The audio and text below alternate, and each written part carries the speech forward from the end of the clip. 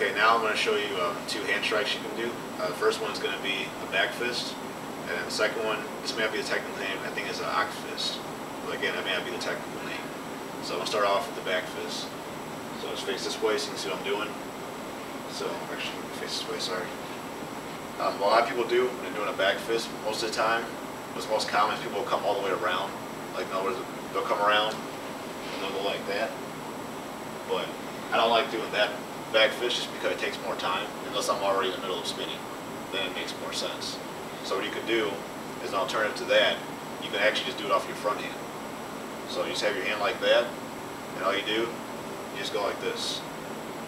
That's what you're gonna do for the back fist. And you're gonna hit right here, like on the side of the person's head.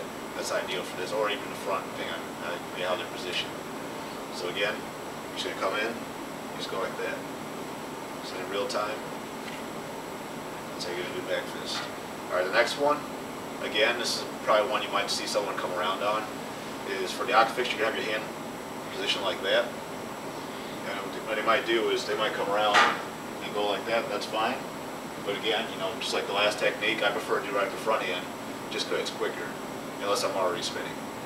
So doing off the front hand, again, you position your hand like that, and you're gonna hit right there, like that. So again, it's gonna be right inside the person's face or right in front, depending on how they're facing. So do it again, so you just go in, like that. So in real time, that's what it's gonna look like.